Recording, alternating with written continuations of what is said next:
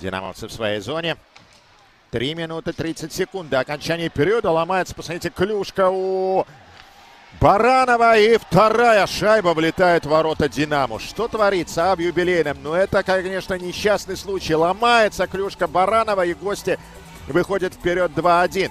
За, какие-то, за какую-то буквально минуту счет из 1-0 в пользу Динамо стал 2-1 в пользу Южного Урала. Смотрим повтор момента. 57 номер отличился. Это Владислав Воропаев. Еще раз смотрим повтор. Воропаев.